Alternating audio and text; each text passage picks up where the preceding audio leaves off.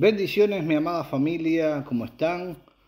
Hoy vamos a estar haciendo el último de los ejercicios para que realmente puedan seguir elevando niveles de energía y manifestando las cosas que están añorando tener. Amén. El ejercicio es el imán. El objetivo, magnetizarte para atraer lo que deseas. Una pregunta, a ver, ¿has jugado con imanes alguna vez? ¿Sí? De niño o algo. Realmente es interesante ver cómo un visible campo de fuerza es capaz de determinar la disposición de limaduras de hierro. El poder del imán reside en la alineación de sus moléculas. Si tomas un martillo y lo golpeas, este perderá su poder simplemente porque las moléculas dejan de estar alineadas. Así también, todo hombre y mujer tiene un campo de fuerza a su alrededor. Un aura energética envuelve a cada ser y es la expansión pura de su poder y de su fuerza. Toda persona tiene su influencia energética, lanza al medio ambiente y al cosmos su irradiación. Y esta trae ciertas cosas y repele otras. ¿Qué es lo que hace que ese campo de determinada manera y que sea y que no sea de otra?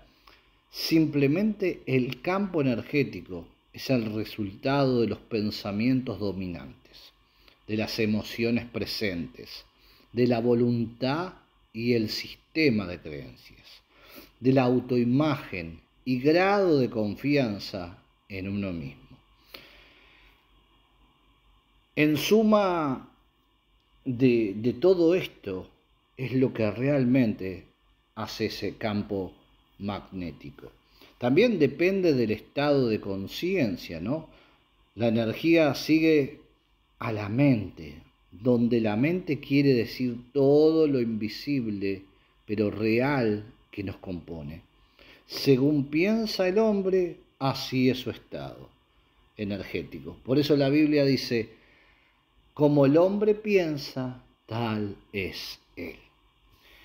Ahora, la pregunta es, ¿en qué inviertes tu energía? busca la coherencia, ¿no? La práctica realmente de esto es simple. Siéntate y siéntete un imán. Comprende que la, que la verdad eres una suerte de usina e-, energética, ¿no? Y que de tu estado interior se desprende un estado energético. Magnetízate con el estado que quieres a voluntad y a conciencia. Pide y permítete ser aquello que anhelas, pero pide siempre lo mismo. Si no eres como aquel que llega a un restaurante y pide una comida, espera unos minutos mientras se la preparan y entonces llama al camarero y le pide otra cosa. De nuevo espera que eso de lo preparen en un tiempo y después cambia otra vez. Al final no tendrá alimento ninguno y no tendrás ni una ni la otra cosa. Ejemplo, si subes a un taxi y permanentemente cambia de destino, volverás loco al taxista.